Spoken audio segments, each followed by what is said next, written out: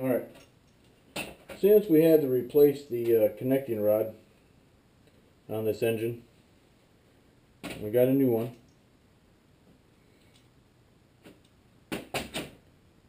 We need to install the new connecting rod to the piston.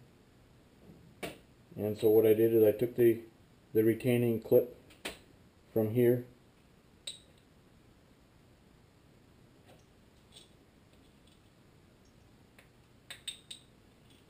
and we'll just slide it through. Connecting rod like so.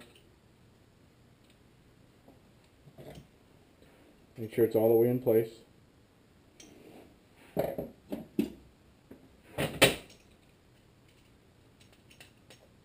Now this particular piston doesn't have any indication on it. Some of them have an arrow that would point toward the uh, the intake and the exhaust ports this one doesn't have any such markings on it.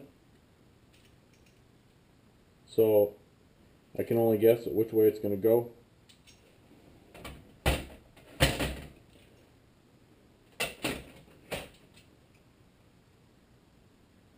I'll take the ring and we'll make sure that the ring gets pushed back in place.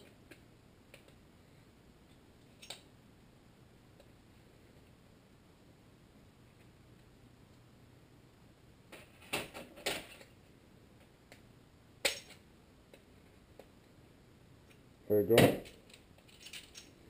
Now the connecting rod is in place on the piston where it belongs.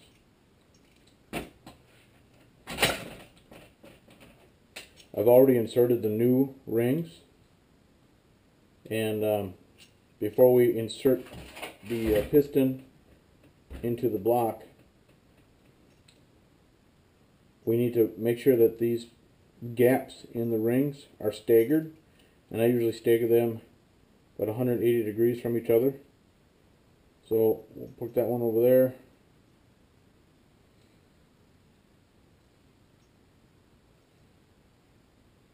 Put that one over there.